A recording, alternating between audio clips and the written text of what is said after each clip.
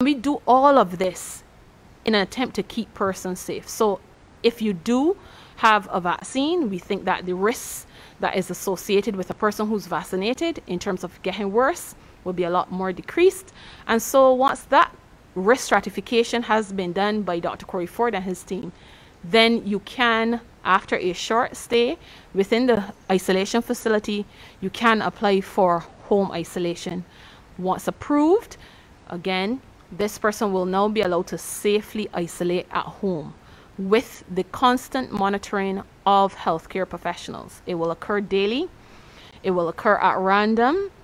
In addition to that, we also have technological measures in place in terms of GPS monitoring bracelets to ensure that you do what you're supposed to do. Yes, we expect that you will be honest and you will stay home, but we want to put that additional mechanism in place to ensure that persons stay at home and do what they're supposed to do.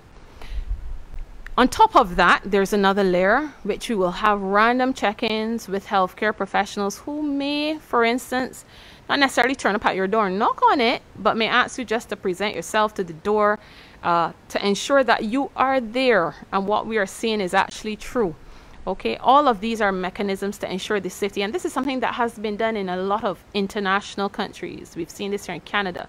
We've seen home isolation, home quarantine programs in Australia. This is this is not anything new, but we want to ensure that we're coupling both the safety in terms of healthcare, health professional backup, in addition to technological implementation.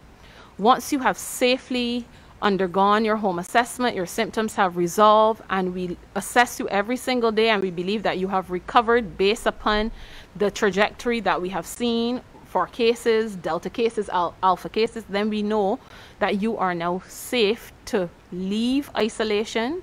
There are certain criteria in accordance with WHO that we use to, to essentially leave isolation and now be considered safe to return to community.